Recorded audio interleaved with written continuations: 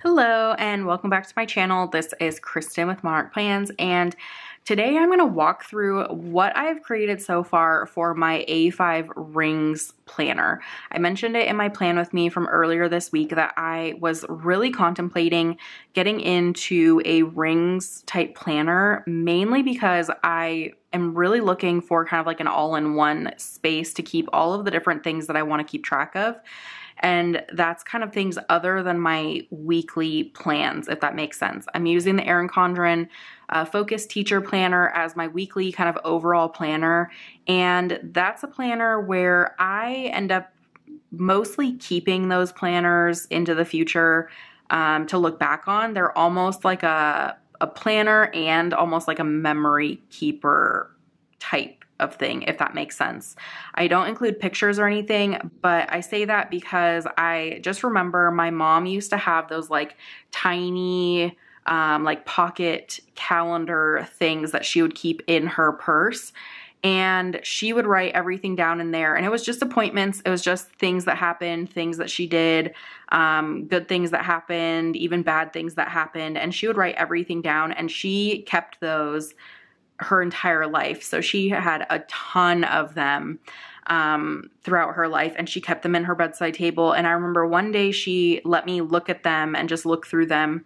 And it was amazing as her daughter looking through like what her life was like when she didn't even have kids, when she was in college, that sort of stuff. So I just really, really loved that. And it wasn't even like memories. It was just appointments and stuff like that. I thought it was so interesting. So that is kind of my main reason when I say it's almost like a memory keeper is it's not like a scrapbook. It doesn't have pictures. It just shows what my life is like on the day-to-day -day and week-to-week -week basis in case anyone ends up caring later in life. so not going to say that my kids are going to really care about what my life was like before them or anything like that. But in case they are interested or in case I want to look back on things, I just feel like that is something I would like to do. So I am using that planner for that purpose. So just kind of like an overview, appointments, work stuff, um, things for my shop, all of that. It's kind of like my overview for the week, but this will have a lot more specific things that I'm tracking in terms of like wellness, shop stuff, um, some like daily plans, all of that kind of stuff. So I'm going to get into this. Um, right now, one thing I wanted to mention, and like I said, I mentioned this in my plan with me, is I am not fully committed to the idea of my A5 planner and A5 planner yet. So what I wanted to do is I didn't want to be buying things for this planner. I think where I've gotten in trouble in the past is I have kind of like thought of a new idea for a planner I wanted and I just like went for it. I spent a lot of money on it. I like dove in and then a month and a half later I find I'm not even using it. So I didn't want to do that because as a lot of you know, some of these A5 folios can be really, really expensive. I'm talking like the Notique brand. There's like um, Filofax, cloth and paper, Levenger, all of that stuff. Those are all really expensive um, when you're getting like their leather folios and stuff like that, which is what I'd be interested in. And I'm not willing to drop like a hundred plus dollars on a leather A5 folio at this point. So what I wanted to do, and this I think is kind of mostly doable for a lot of people who want to try this, is you can either get like a really cheap A5 binder, whether it be rings or just like a folio, so you can put a disc planner in there on Amazon. Um, I didn't get this from Amazon. This is an Erin Condren A5 planner um, that I got last year when I um, when the new planners were released, I had to buy this so I could do the correct sizing for my shop. So I already had this A5 planner, but I have seen a lot of really great A5 planner um, options on Amazon. So I will link um, one of those down below if you're interested.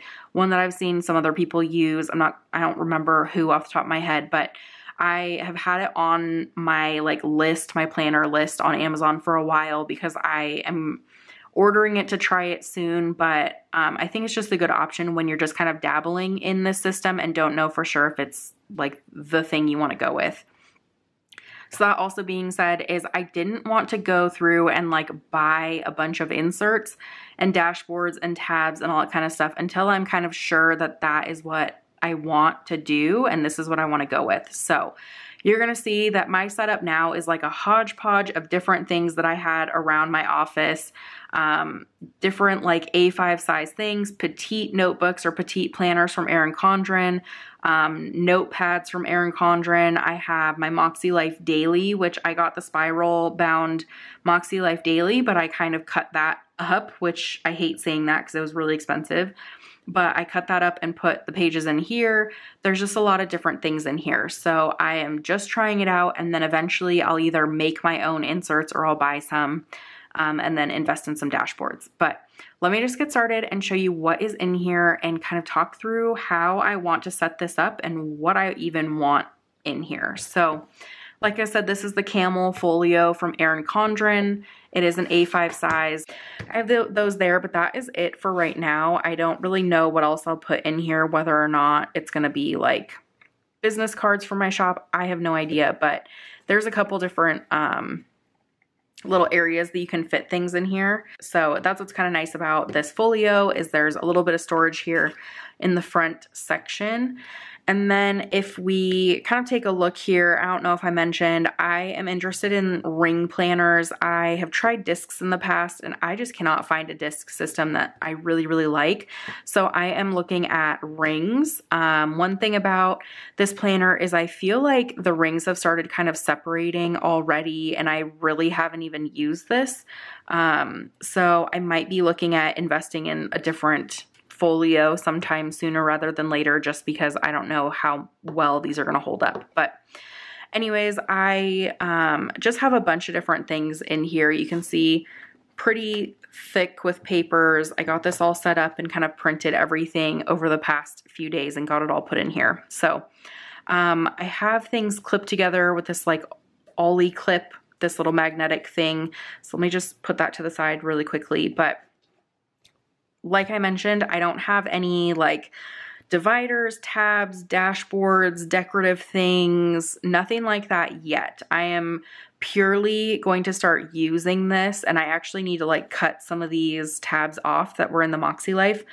But what I think I'm going to do is just for the time being, I'm going to use these little tabs from Avery.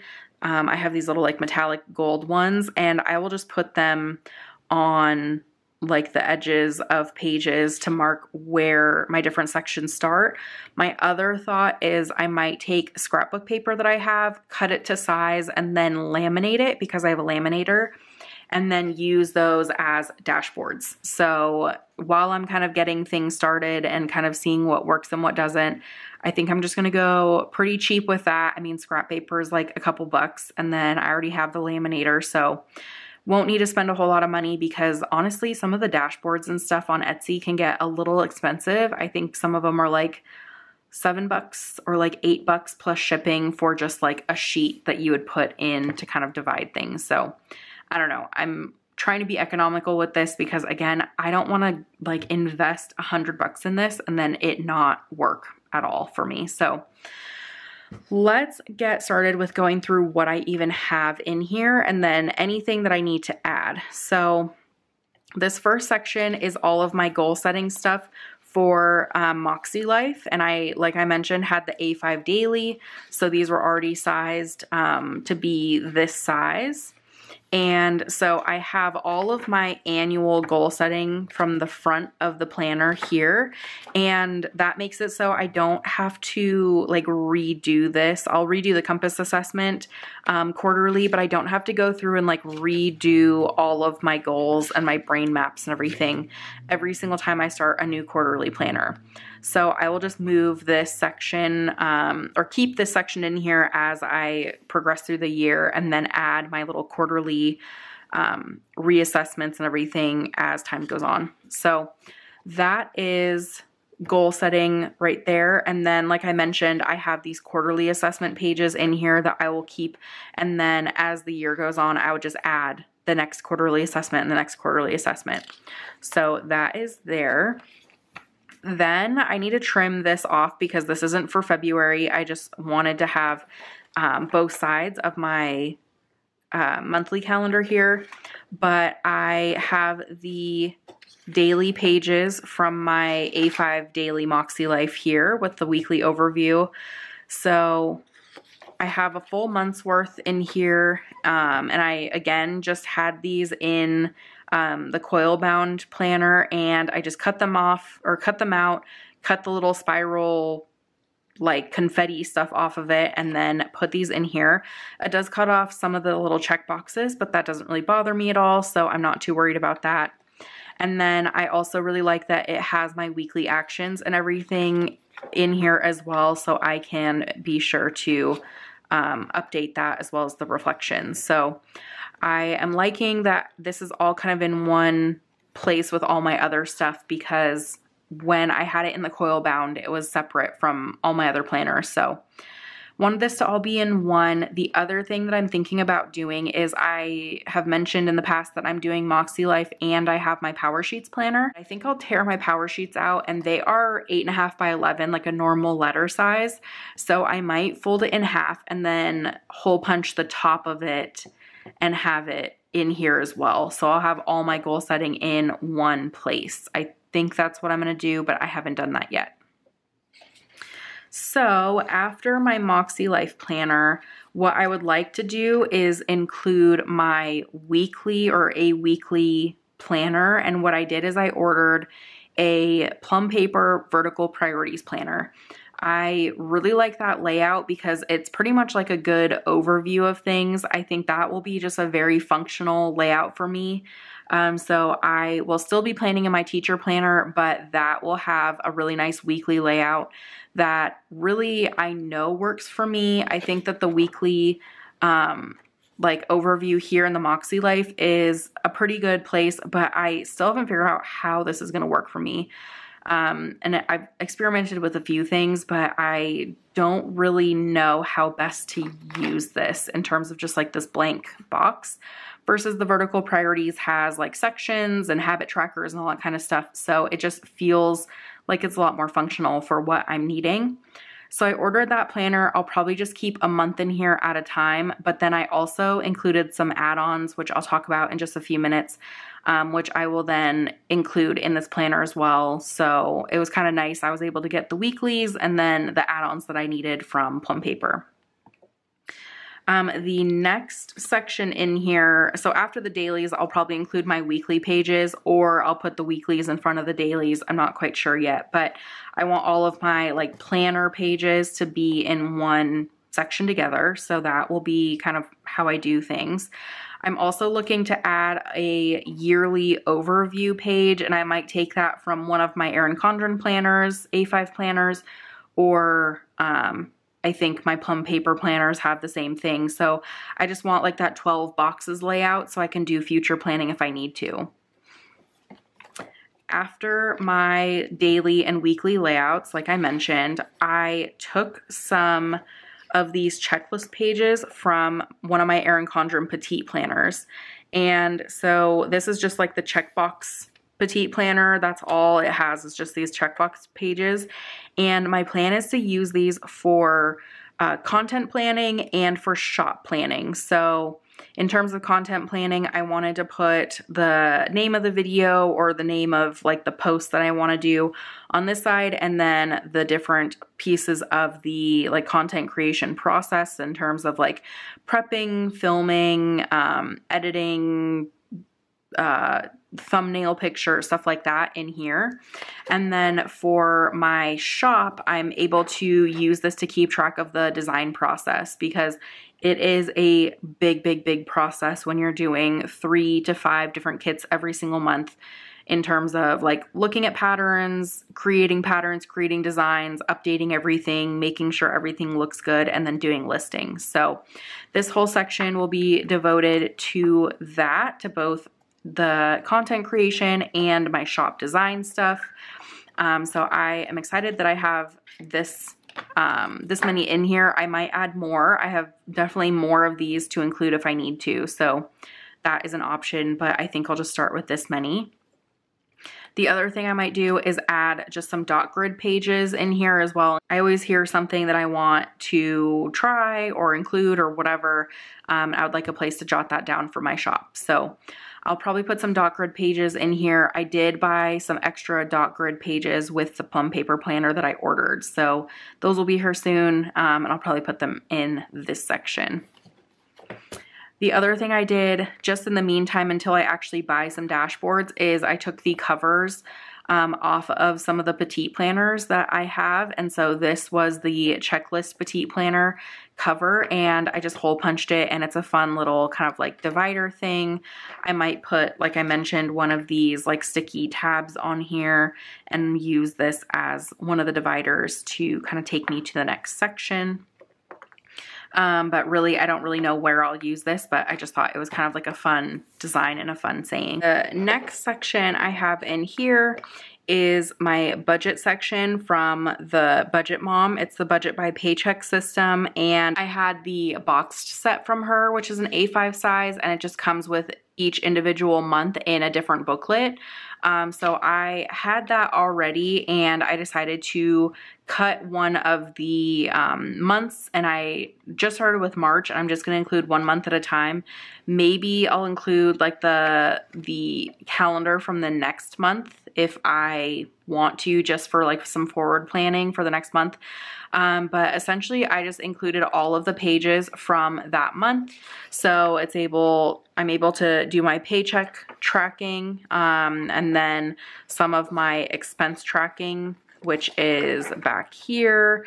So you'll see expense trackers and everything like that. So I'm excited to have this in one place because like I mentioned, my weekly planner is the teacher planner and then I would have had like an A5 coiled planner for my MäkseLife stuff.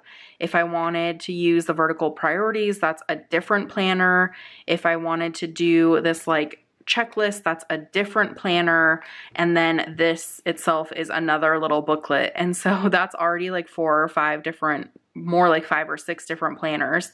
And so having this in here makes it easy to just kind of like flip between my daily plan, flipping to my expense tracker to make sure everything's tracked in here, flipping to the rest of the sections, make sure they're tracked every day, all of that. So already that was kind of my motivation was I really just wanted things in the same place. So that is my budget section and I need to see if there's like any other trackers or something that I want to include in here in terms of like debt payoff stuff, those little coloring pages, I don't know. I just need to explore kind of what I want to even include in my budget section, but I think that this is a good place to start. Um, this next section is super, super random. I think it's just going to go with the back of my planner, but I took these from, um, I think it's called uh, Novel Companion from Little Inklings Designs. It's a book planner, and I wanted to include this list here because a lot of times I am like on the go or I'm on Facebook or I'm like scrolling through Instagram or something and I see books that I really, really want to either buy or that I already have that I want to read. And so I wanted to have a place to write that down really quickly. So I took these from my Little Inklings Design um, coiled planner. So I have these and then I also ordered one of the add-ons for my plum paper is the media add-on and that is um, something that I have in one of my planners, but I think it's seven by nine. So I wanted the A5 size. So it has a spot to show like what books you've read, I think what movies, podcasts, stuff like that you've kind of consumed. And I wanted to have that because I always like to keep track of that stuff just to know like what books I am reading or I have read. Um, make sure, first of all, I don't buy duplicates because I've done that in the past, but it's just kind of fun to look back on at the end of the year. I think I'm going to move this to the back though because it's kind of like in the hierarchy of things, like the least important thing in my planner, uh, but it just kind of fell here for the time being. This next section is really devoted to like health and wellness stuff. So I have a list pad from Erin Condren that is this grocery list um, here. So I wanted to include these so I could quickly write a list or mark down a list um, in my planner as I'm doing my meal planning. I'm trying to decide whether or not I would just do like my meal planning on the back here or whether or not I actually want a separate like grid or calendar thing so I could plan out my meals. But that's one thing I'm trying to kind of figure out, but I think I might have a solution for that. I don't quite know, but I wanted to include these in here so I can easily just kind of create and keep track of the list of things that I need to buy. And then that means that I can either like plan out a week, keep the list, and then just like keep it in here. And if I want to repeat that same meal plan for the week, I already have the list of all the things I need. Um, so that's kind of what I'm thinking for that. These are a little bit bigger than A5. They kind of like stick out the side a little bit, but that's okay with me.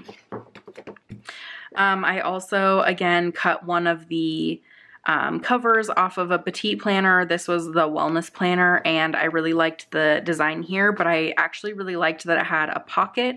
So I wanted to cut that off and then I can put whatever, I just happen to leave the stickers in it right now. Um, but I wanted to have this little fun pocket with the cute design on the back. I'm trying to get this to fit. There we go. And then I took one month worth out of the Erin Condren Wellness log. So I have the petite planner here with some of like check-ins and goals and everything like that. And then movement for the week and this week's food log. So I am debating on whether or not maybe to do my meal planning here and then create the list um, or have this actually be a log and that'll make sense in just a few minutes because I have an area where I will be tracking my food um, in the next section. So I think this will be like forward planning and then the next section will be actual tracking. Um, but I really do want to be tracking my movement and kind of putting in what workouts I want to do. And then this is a nice place to kind of keep track of habits and stuff. But I am not quite sure if I'm going to be keeping this in here, you know, for the time for the future, but I wanted to include it just for now because it has a couple different things that I like. So I might at some point kind of combine this with like the next section, which you'll see in just a second. Um, but we will see. But I only have a month's worth of these in here and then I will just add another month when the time comes. Um, let's see. Okay. And then this section here, a pretty thick section, but it is very specific um, because it is from a membership program that I am part of and it is called No BS and it's kind of like a it's like a weight loss course, but it's really just kind of something I'm using to change my relationship with food as well as get a little bit healthier. So I have all the different pages from the planner um, that they provide in that program, and it includes monthly plans, stats tracking, habit trackers, um, weekly plans and assessments. Let me just skip around. And then every single day, I'll be planning out and writing down my meals and everything. So if you're not familiar with the No BS program, um, it's just something I really enjoy and there's a lot of good content that goes along with it. But one of the main kind of like guidelines and I don't want to say rules, but it is pretty much a rule that you plan out what you're going to eat and kind of like plan out your day ahead of time every single day. Um, and that means like planning out your meals, planning out like what your goals are, all of that stuff. And then at the end of the day or the next morning, you assess how you did, and then you can decide whether or not you need to make any changes and all that. So that is important to me. Um, and it's important that I have it kind of readily available because it is something that I have to do every single day. And I also mentioned that I don't know if I'll be using the grid from the wellness planner as a food log or not because I'll actually be tracking my food here. So I don't really know um, if it's necessary to have in, bo in both places, but I just kind of need to figure out like what the flow looks like. So that's something that might change, but I definitely am wanting to include this um, planner and this like food wellness section in my planner because it is something that I have to do every single day and I want to have it readily available with all my other plans. So there is that. And like I mentioned at the back, I think what I'll do is I'll include like that media log and all that kind of stuff at the back. And then other than that, um, I also got cleaning pages with my plum paper planner. And so I'm going to put a section for like home stuff and that will be cleaning related, maintenance related, all of that kind of stuff. But I just haven't gotten my, my plum paper planner with that information in it yet and then probably just some extra pages for notes at the very end. And then I think that's it. Um, so you kind of have seen what I want to include, but it's just kind of chaotic right now because it's just a hodgepodge of all these different pages and there's no real good way of dividing things. Um, it also is kind of crazy because everything is like a different size. So I don't really know if this is something that will be sustainable because I don't really just like my brain doesn't like that everything is different sized. There's like different colors of white, which kind of bothers me too. You can kind of see like these are different colors, all of that. So at some point, I think I'll probably just include or use like a daily planner like this, which I can get, you know, like uh, inserts and then maybe I'll create my own inserts for all the rest of them. I don't really know, but I'll probably change this around at some point, but I'm just experimenting and seeing what works. Um, for the time being though, until I kind of have things narrowed down, I'm just including also a little softbound notebook here, just kind of tucked back here in case I need to take notes on things. Um, I can use this if I decide to go into the office or have like a meeting, I'll just take this whole thing um, and then I can just use my little notepad so then I don't have to take like multiple planners or books or anything like that. Um, and then other than that, I'm just going to find like a good pen that I like, which I tend to just really like, oops, these like Pilot G2 things. That's pretty much the last thing is I'll just have my little pen here and then there's this pocket back here that is really helpful in case you want to add like a notepad of some type. Um, so for example, I have this notepad here that I got a while ago and you can just slip it in here. So I, if I have like a notepad that I really want to include, which I have a bunch of them, I'll just include it back here. So you can just slide it back there and it's the perfect size to include. Um, and then you just have like a little tear off pad. Um, instead of having a soft bound, I might just put like a notepad like an actual notepad in here for notes so then it's not too thick or bulky but for the time being I'll just include my little soft bound. So other than that, that is it for this little A5 thing. I think the biggest like takeaway is that you can start kind of seeing if it's something you'd be interested in for not a huge investment for the most part. I'll say, especially for an A5 size planner, the A5 size is essentially just half of a sheet of computer paper. So if you don't really have any inserts or you don't have like all of these different things, sometimes the inserts themselves, if you just want to print them yourself, are pretty cheap um, on Etsy and you can find them, just find ones that you would like and you can buy the digital file and print them on your own paper. That's how I was able to print all of these planner pages was I just took the letter size and I said I wanted two per page and I printed it like that and then just cut them in half and punched them.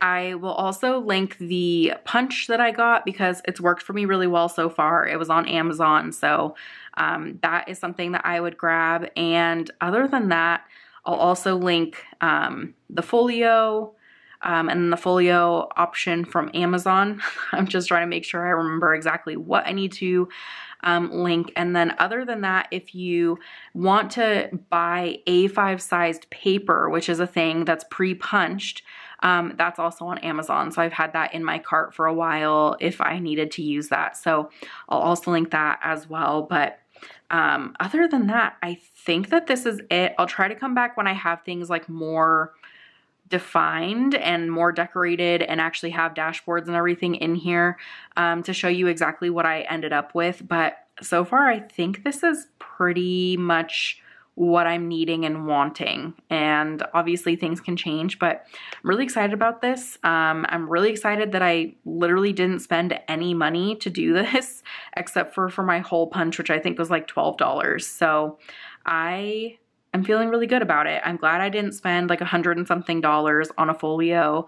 I want to just test this out first and see how it goes. And then if it goes well, it might be something where I do invest in a nicer set of rings and uh, like a nicer folio because like I mentioned, this is maybe not going to last very long. So anyways, thank you so much for tuning in. If you have any questions at all about any of these things or any suggestions, if you are an A5 ring planner, please feel free to leave a comment below or you can always find me on Instagram and send me a message on there if you'd prefer. Um, but again, thank you so much for tuning in and I will talk to you later. Bye.